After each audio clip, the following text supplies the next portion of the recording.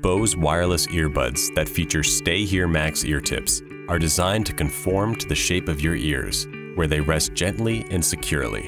In this video, we'll help you choose the best fit for you. Let's start by trying them on. Each ear tip is marked with either an L or an R to indicate which ear it goes in. Insert the earbud so the ear tip gently rests at the opening of your ear canal. Slightly rotate the earbud back until the ear tip creates a comfortable seal.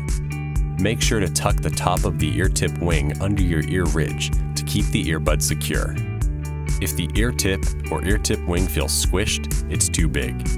And if they feel loose, it's too small. Try another ear tip size. The size is marked on the bottom of each ear tip with a 1 for small, 2 for medium, or 3 for large. The size 2 ear tips come attached to the earbuds.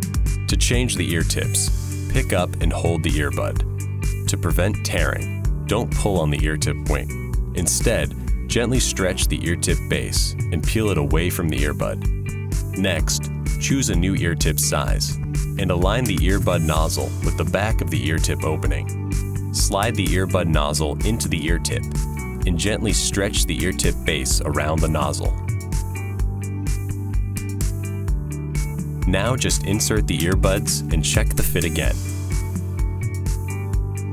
Repeat these steps until you find a comfortable and secure fit for each ear.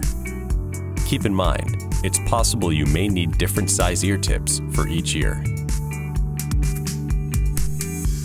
For additional support, visit our website